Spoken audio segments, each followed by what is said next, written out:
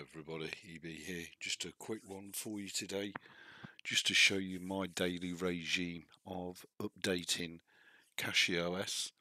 Just for those that are hmm, perhaps not savvy with it, it's very simple. So all you need to do is go to your Cache OS Hello icon, load it up, and then come down, click on Apps and Tweaks and the first thing you want to do is refresh your key rings Put your system password in and let it re refresh all the key rings Press enter to exit, you're done. The next thing you want to do is rank mirrors. So always make sure you're using the fastest mirror. Helps if you put the right password in. this will take a few seconds.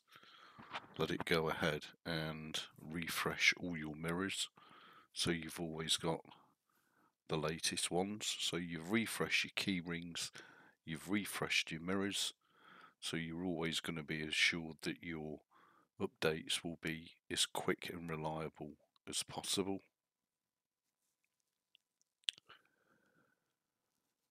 Shouldn't take too long and it will automatically select the fastest mirrors so that you get the quickest updates possible. And of course you can do this whenever you want, once a day, once a week, once a month, whenever you like. It's up to you, your choice. I do mine on a daily basis. Press enter to exit. That's that done. Next thing you want to do is click on system update Again, pop your password in, try and make sure you enter the right password. And it will tell you if you've got any upgrades. We've got a ton. well, it is bleeding edge and it is arch. Press Y and it will go ahead and update your system with all the stuff. That simple. Easy, isn't it?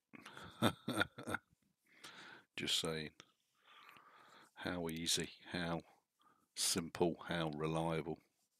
And then once this is all done, all you need to do is reboot your system and you should be good to go. In the next video, I'll have a look at creating a reliable backup just in case this process goes due south so that you can always restore your computer to a state, a date and a time before the updates were all applied.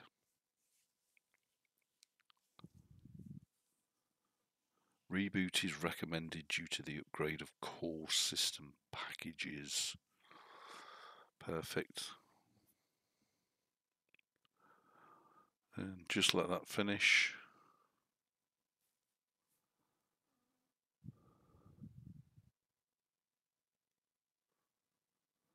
Don't worry if you get warning messages and error messages, it's only regarding missing hardware that I am not myself running. Do you like the way the uh, the cursor changed there? Pretty cool, isn't it? I think so anyway, just saying. Error calling start service by name. Timeout was reached. Let it finish. Don't be impatient. Be patient. Uh, of course, unlike Windows, it won't wreck your whole system or wreck what you was doing because you choose to do it when you want to do it. Beautiful, huh? Beautiful. Uh, I am recording a video, so that's not always a good idea when you're running updates, but I just wanted you to see the actual process itself, and there you go, all done. So that's my personal daily regime of ups, updating CachyOS and keeping it bang up to date. Uh, if you've got any comments you'd like to post underneath the video, please feel free.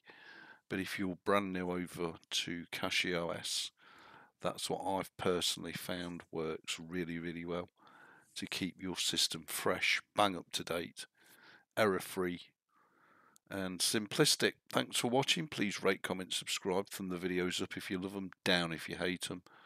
I will see you for another wicked Broken Ebeez video.